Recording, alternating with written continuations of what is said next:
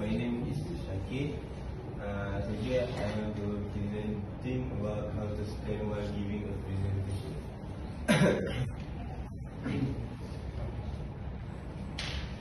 uh, did you guys know body language is um, much powerful uh, than your word speak.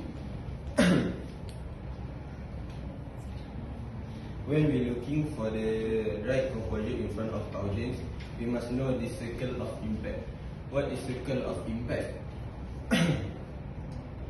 that is more than half of the impact you have on audience is caused by your body language. 38% by our voice and our uh, way we speak and only 7% of the impact the content of the story. So nice and good body language is very important for our speech.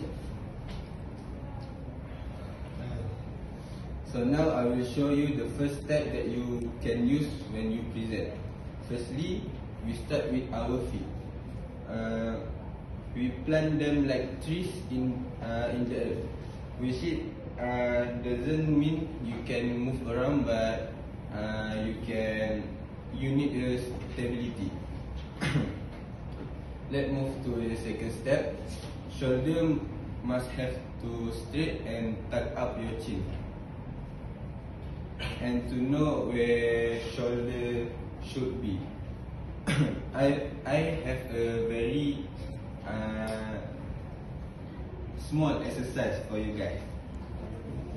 Uh, you just uh, lift them up very high and let them drop and then that where they should be. uh, so feet, shoulder and last but not least, your hand and your arm. Um, what should we do with our arm? Well, one thing you have to remember is that you have to keep an open communication with your public. But how? What you want to do is make a distance and make a distance between you and a, an audience smaller. So reach out with those hand and those arm. Lastly, uh, the very important of uh, main point is feet, shoulder, arm, and of course never to forget the smile. Thank you.